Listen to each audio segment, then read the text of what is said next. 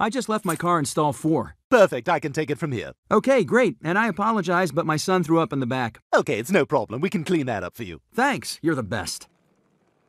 Hey, Levi, we got a backseat vomit in the maroon PT Cruiser. Levi? Levi? Levi?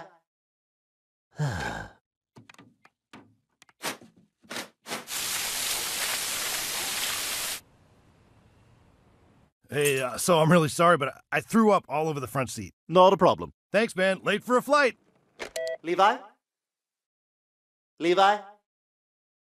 Levi?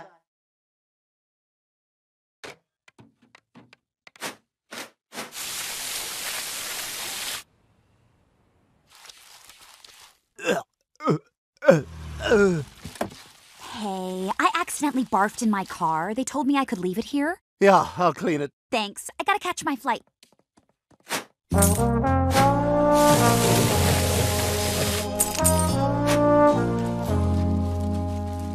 Levi? Levi?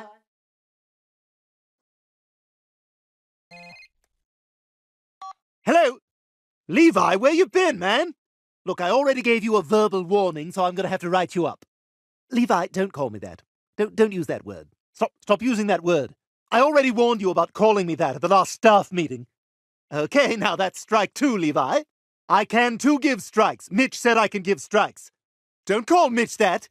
Listen, I can't talk about this right now. My dog is banging my wife. I'm not going to write him up. He's the only one strong enough to change the water jugs.